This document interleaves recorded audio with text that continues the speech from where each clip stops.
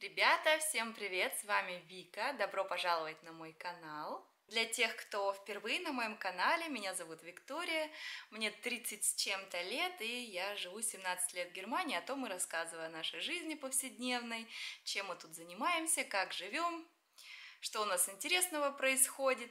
Так что оставайтесь на канале, если вам это интересно. Для стареньких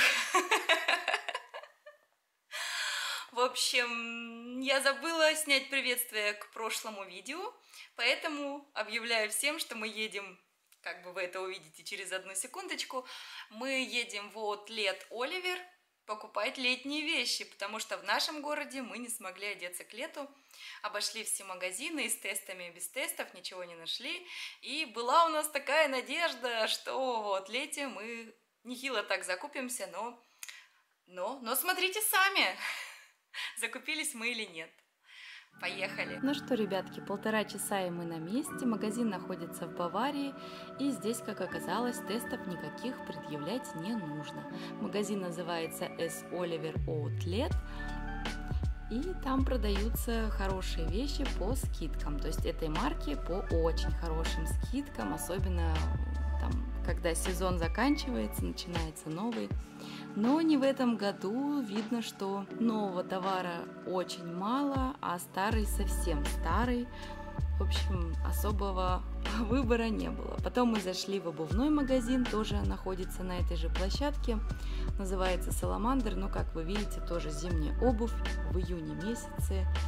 Не особо привлекательный товар.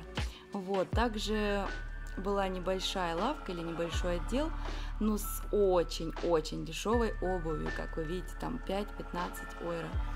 А в хорошие времена можно было даже что-то подобрать, но сейчас мы видим, да, что ничего особенного нет. Ну и ко всему я такую обувь не ношу вообще в принципе, хоть по скидке, хоть без.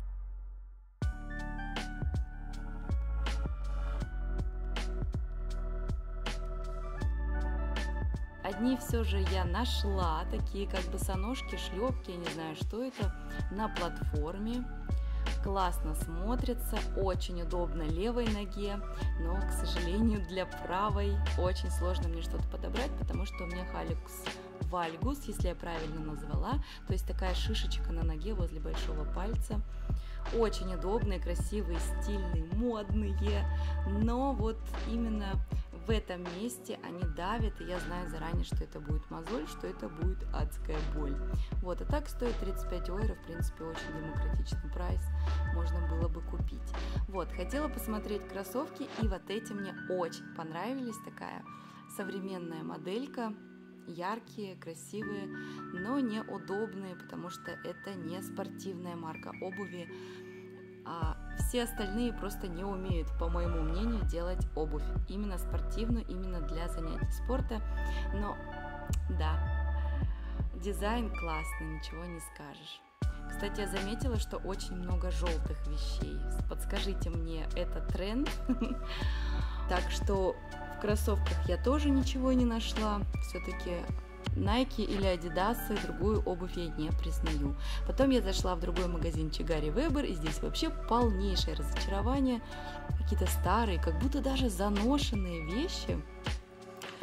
Ну, посмотрите сами, да, какие-то мусоры странные. Ну, я понимаю, что это магазинчик для более старшего поколения, ну, как-то все в катышках. В общем, вот, презентирую вам наш улов, маечка номер один – Классненько так на Леоне сидится с Оливера золотыми буковками. Ну вообще прям красота, да? Нравится? Вот, сейчас скажу, сколько стоило. Ну, тут скидочка вообще небольшая. Она стоила так 9,99, а так за 6,99. Но все равно неплохо, да? Какое все мятое это. Но вообще классно смотрится. Это вот для похода в школу. На школьника ты похож. Класс, мне нравится. Да, поло ширт. Вообще завтра погладить бы это все. Так классненько, нравится? Да. Все, сам он себе выбирал полностью вещи, взрослый мальчик уже. Здесь тоже скидочка небольшая, но есть вот с 20 ойра на 14 ойра. Вот, и третья тоже поло ширт, тоже от Оливера. Интересно, так воротничок, да, сделан. Голубенький, а рукавчики оранжевые. Тоже хорошенькая маечка, да? М? Да. Красавчик. В школу кто пойдет? Я. Лева хочет в школу? Вообще нет, да? А еще месяц назад хочу в школу, хочу в школу. Месяц назад я что-то другое был. Угу. Ну ладно, все, переодевайся. Свободен. Спасибо за презентацию. Пожалуйста. Ну и здесь вот стоило 30, мы купили за 20 евро. Ну, 10 евро скидка, неплохо. Вот, ну и мама Леона купила себе целую одну вещь. Вот такую вот блузочку на пуговках. Не знаю, как вам лучше так вот показать, наверное. Вот, с коротеньким рукавчиком. В общем, это все, что я нашла на себя. И это такая редкость, потому что приезжая в Outlet от С. Оливера, я обычно возвращалась прям с чемоданом вещей, одетой на весь сезон. А здесь, как и везде, старые вещи, маленький выбор, плохой выбор, то есть вообще не стоит, короче, ходить никуда, не ездить. Сегодня я уже залезла в интернет, в пару каталогов, поназаказывала себе летних вещей и надеюсь, что они скоро придут и будет примерочка. В общем, вот моя футболочка. Цвет вообще замечательный, такой нежный-нежный. И сама она такая тоненькая-тоненькая. Прям я люблю такие вещи на лето. Ее прям на себе не чувствуешь. Ну и стоила она вот 24,99. Скидочка с 30 евро, так скажем, да. На пуговках. Материал, я не знаю даже, что это за материал. Ну вот, все я вам показала, все рассказала. И теперь хотелось бы ответить на комментарии с предыдущего видео, где мы ходили в ресторан.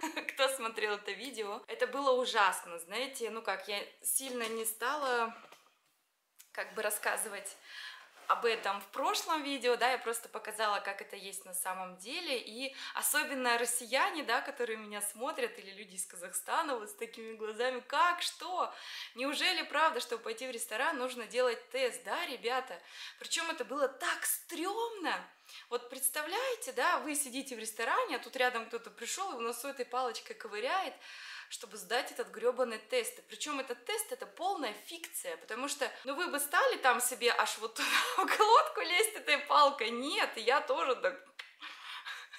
Все, потому что ну зачем оно мне надо, да? То есть это все только чисто для галочки. Причем мне очень жалко сотрудников этого ресторана, они это сами не придумали, это придумали сверху, дали им указания, они должны эти дурацкие правила соблюдать, следить за этим, оно им надо, ведь за это не доплачивают. А еще ладно, мы пришли спокойно, сделали, сдали, а сколько таких людей, которые приходят с такими наездами, мы это делать не будем, да что это такое? То же самое, что с масками, да, я сама работаю в общественном месте, где в мои обязанности входит э, контроль, чтобы все были в масках, чтобы соблюдалась дистанция и прочее. Люди не хотят этого делать и сваливают как бы эту проблему или нет, сваливают этот негатив на нас, простых рабочих, которые вообще к этому никакого отношения не имеют. То есть это для нас тоже лишний стресс, это для нас тоже лишняя работа. Но, к сожалению, это не все понимают, начинают скандалить, спорить, я буду, я не буду. Ну, такой, знаете, детский сад получается. А по сути мы являемся просто пешками работники, да, в этой игре, поэтому как бы я эту женщину тоже понимаю, официантку, да, я имею в виду, которой это вообще нафиг не надо. Никто, естественно, за нами как бы не следил. Просто нам продали, так, одним глазом посмотрели, сделали, и ладно, если придет контроль, и вот тесты они делали. Все. Очень это нехорошо, и когда все это закончится, непонятно. Не знаю, для чего, для кого все это надо. Ну, неужели, да, ребята, вот, которые живут в России, я смотрю, Нету вообще как будто этой короны. Огромные праздники, мероприятия, последние звонки, в конце концов, я посмотрела каждый, наверное, последний звонок, на кого я подписана, на всех моих подписчиков с таким превеликим удовольствием. У детей был праздник, дети живут, наши же дети. Они ничего не видели в этом году, у них вот 7 месяцев тишины, вакуум. Неужели это полезно для детской психики? Да, также, когда мы приехали в этот Оливер, он находится не на нашей земле, а в Байроне. По сути, это от нас чуть больше 100 километров, но там уже другие законы. Мы отстояли огромную очередь, я не знаю, минут 20 мы стояли. И на входе нам сказали, что вы не в тех масках находитесь, медицинская не подходит, нужна вот эта вот FF2. У нас, допустим, без разницы, лишь бы была медицинская. То есть э, поначалу, когда была корона, было вообще без разницы какая, да хоть с платочком заходи. Потом все-таки объявили, нужна медицинская, потому что обычная неэффективная. Мы все давай скупать эти медицинские. Теперь, значит, в Баварии вот такие только маски носят. Ну, блин, в чем отличие этой FF2 от медицинской маски? В принципе, это одно и то же.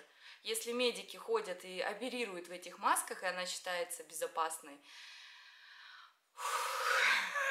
лучше мне на эту тему не начинать даже разговаривать, потому что я, я видите, аж покраснела, меня злость берет. Вот, теперь у меня начинается работа, и мне придется ходить в этой маске. Кстати, кстати, я говорила, что мы открываемся со следующей недели, но тут счастье привалило. Даже не знаю, как, как вам об этом-то рассказать. В общем, в общем, я еду в командировку и начинаю свой рабочий день. Нет, свою рабочую жизнь, я так думаю, я надеюсь, что больше ничего закрываться не будет. Я начинаю уже с завтрашнего дня, я сейчас собираю активно чемодан, в общем, предложили, я не отказалась, вернее, как бы я подняла руку, да, я хочу, но что это Зокурс, Фристих, сегодня мне сказали, завтра я уже еду. Я положила трубку и так, я еду в командировку после семи месяцев вакуума. Да ладно. Если вы кто-то смотрел мое прошлое видео, я на работу, просто на работу собиралась два с половиной часа. Все, я разучилась, разучилась просто быть собранной и быстро собираться. Ой, как долго мне, на сутки, наверное, у меня сутки уйдут на сборы. Я даже не представляю, что мне с собой брать. Это, это во-первых, ладно, чемодан. Во-вторых, мне кажется, э, ребятки, там, с кем я работаю, ушки вот так закройте. Я не помню, в чем суть моей работы заключается.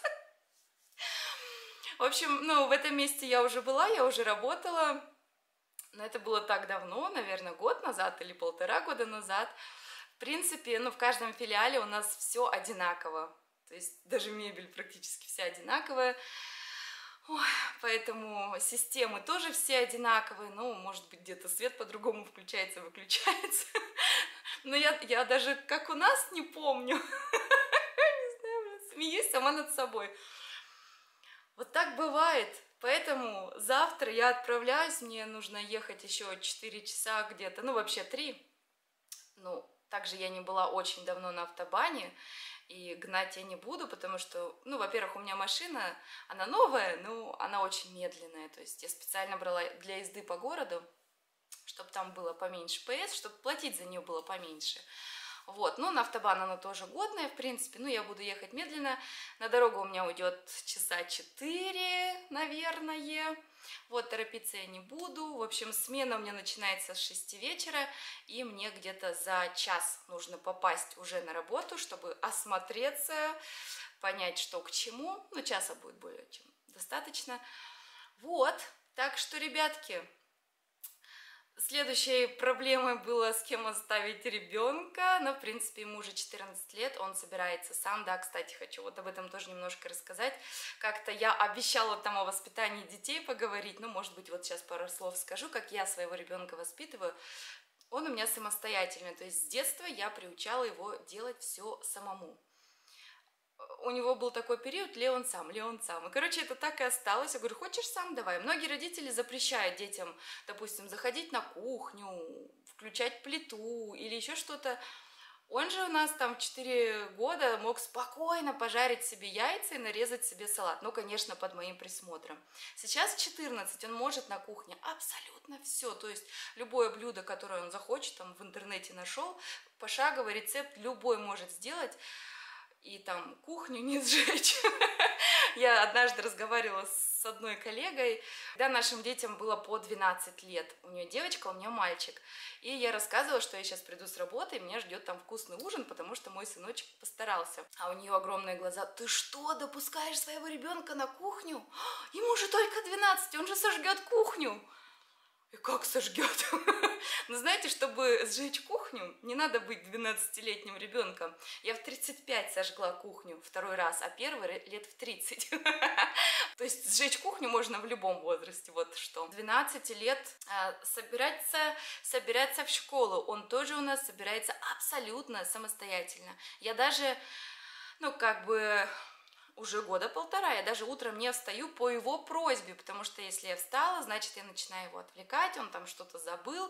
Он любит, так же, как и я, он любит собираться в одиночестве. То есть он встал, у него, у него полностью алгоритм действий свой, он встал, умылся, покушал или наоборот собрал себе завтрак – рассчитал время, он ни разу в жизни не опоздал в школу, сам, ни разу. Вот до такой степени он может рассчитывать, я считаю, для 14 лет это перфект. Причем сейчас 14, а он собирается в школу сам с середины 4 класса, да, и он сам с середины четвертого класса ездил на автобусе в школу самостоятельно. Для меня это, конечно, было то еще испытание, потому что, ну, все равно маленький, еще для меня это сколько ему лет, 9 было, да, с 9 лет он сам полностью утром собрался, покушал, позавтракал и пошел. И это не от того, что я ленивая мама и я не хочу, нет, до четвертого класса я его и в садик водила, и в школу возила, но я-то опоздун. он в папу, он точно не в маму. И вот как раз-таки, когда я его возила в школу, мы частенько опаздывали. Ну, он, вернее, опаздывал.